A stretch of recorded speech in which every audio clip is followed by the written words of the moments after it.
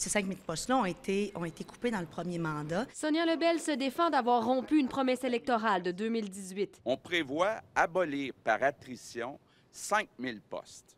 5 000 postes au bout de quatre ans, de façon récurrente, ça va permettre des économies de 380 millions de dollars. Pourtant, malgré les départs, l'État a grossi sous la CAQ. 10 000 fonctionnaires de plus. Bien, ce sont des postes qui sont à plus de 80 dans les deux grands réseaux, c'est-à-dire en santé et en éducation. Ce sont des postes qui sont là pour les services à la population. Chose certaine, c'est une autre promesse euh, rompue.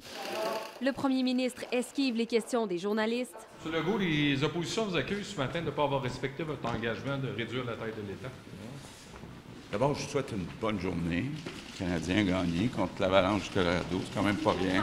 Ces ministres vont au front. Les embauches étaient nécessaires selon le gouvernement, qui avait promis de ne pas couper dans les services. Ne serait-ce que pour notre ministère à nous, on voit en termes de francisation, les besoins sont beaucoup plus grands du fait d'un plus grand nombre de personnes qui sont présentes au Québec. Les demandeurs d'asile ont accès à la francisation et il faut faire en sorte de répondre aux besoins. Donc, on a dû embaucher beaucoup plus de gens qu'initialement prévu parce que les besoins sont énormes. Depuis, il y a eu une pandémie.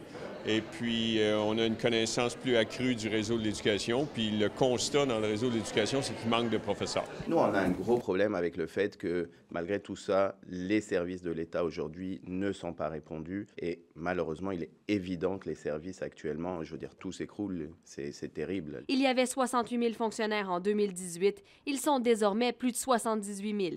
Et dans la prochaine année, ce nombre devrait croître à nouveau malgré la révision des dépenses annoncées. On n'est pas dans l'idéologie de réduire la taille de l'État pour réduire la taille de l'État. Nous, on veut que les Québécois en aient pour leur argent, que les payeurs des taxes puissent avoir des services pour les impôts qu'ils payent. Claudie Côté, TVA Nouvelle, Québec.